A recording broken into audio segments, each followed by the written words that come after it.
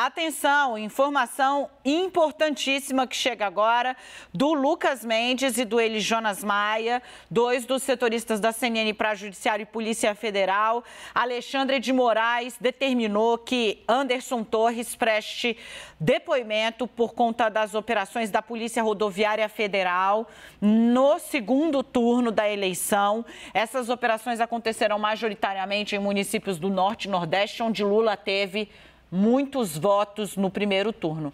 O que aconteceu? Essa investigação avançou muito e ficou claro que o Ministério da Justiça, sob Anderson Torres, produziu um estudo para indicar quais eram os municípios, as cidades em que Lula proporcionalmente teve muito mais votos do que Bolsonaro. E depois por ordem aí é que vai se descobrir se por ordem dele, mas Silvianei, o então chefe da Polícia Rodoviária Federal, montou blitzes, sim, barreiras para fiscalizar os carros nessas cidades, tentando impedir aponta o Judiciário e a PF a chegada dos eleitores de Lula às urnas. Se isso não é subverter o que diz a democracia, não sei mais.